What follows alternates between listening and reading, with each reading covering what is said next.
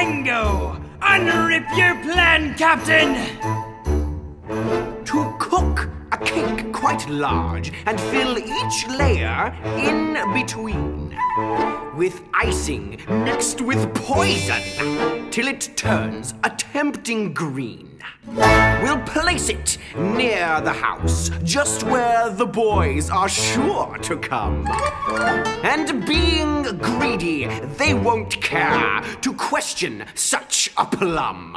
The boys who have no mother sweet, the one to show them their mistake, won't know it's dangerous to eat.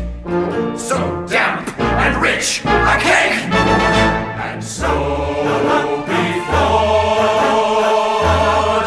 the of an eye, those boys will eat that poison cake, and one